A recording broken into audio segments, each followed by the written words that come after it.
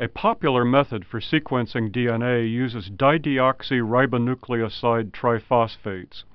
A DNA strand is a polymer of deoxyribonucleotides, each formed from a deoxyribonucleoside triphosphate, or DNTP.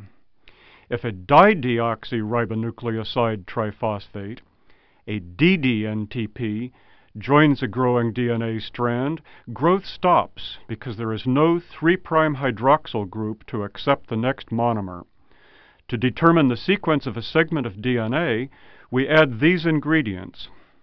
A primer to allow DNA polymerase III to form the complementary DNA strand, all four DNTPs as building blocks, and all four DDNTPs each marked with its own distinctive fluorescent marker, red, blue, and so forth.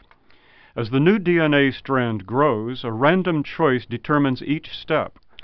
Will a DNTP bind, letting the strand grow, or will a DDNTP bind, stopping growth and marking the strand with a color? As the process continues, many incomplete DNA strands form, each marked with an appropriate color. Gel electrophoresis separates the strands by length. An automatic device scans the gel. Colors identify the DDNTP bases in order.